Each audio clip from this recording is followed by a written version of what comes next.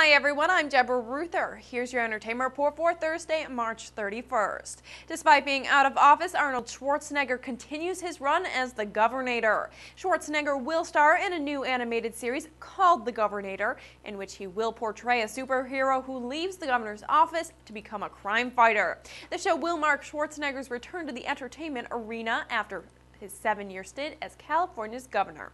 Judge Judy was rushed to the hospital Wednesday after complaining of intestinal discomfort. However, the television star insists it was purely her body's way of telling her she needed a day to chill and that she's perfectly fine. John Travolta will play legendary mob boss John Gotti in the upcoming film Gotti Three Generations. The film will center on Gotti Jr.'s decision to leave the family business. Nick Cassavetes has signed on as director. James Franco has also reportedly been linked to the project. And Charlie Sheen is being sued by a TV producer for his reality show project. Ed Meyer claims the actor and his parents conspired to derail the series, which was to feature Charlie's uncle, Joe Estevez. Meyer claims he has been damaged by the defendant's alleged wrongful acts.